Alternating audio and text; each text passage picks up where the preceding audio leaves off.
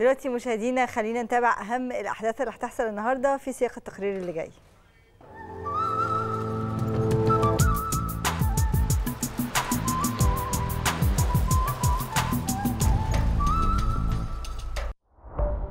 أخبار كتير هتحصل النهاردة. من بينها أنه مجلس الوزراء هيعقد اجتماعه الأسبوعي برئاسة الدكتور مصطفى مدبولي رئيس مجلس الوزراء لمتابعة ومناقشة عدد من الملفات وبيعقب الاجتماع مؤتمر صحفي. النهارده هيحيي النجم علي الحجار حفل غنائي كبير بساقية الصاوي بالزمالك في قاعة الحكمة. بيبدأ الحفل الساعة 9 مساء وبيقدم الحجار خلال الحفل عدد كبير من أغنياته اللي بيحبها جمهوره ومنها الأغاني الوطنية والأغاني الرومانسية.